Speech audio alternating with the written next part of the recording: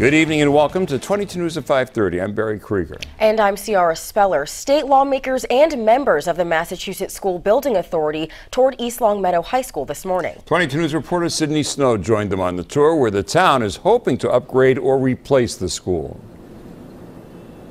East Longmeadow High School is 50 years old, and the school's been requesting a new building for the past five years. State Senator Eric Lesser and Representatives Ashe and Puppolo gave State Treasurer Goldberg and members of the Massachusetts School Building Authority a tour of the high school this morning to show them the school's current conditions.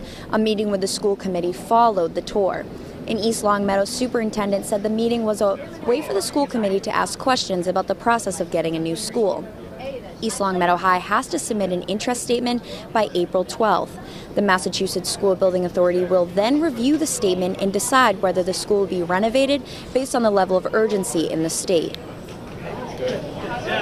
Having our folks from Boston actually see what uh, a paper pencil application can't, you know, tell in, in living format, we hope will be helpful to furthering our uh, advancement in the eligibility process.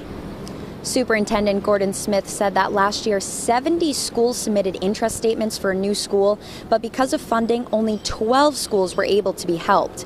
The Massachusetts School Building Authority is funded by a percentage of the state sales tax.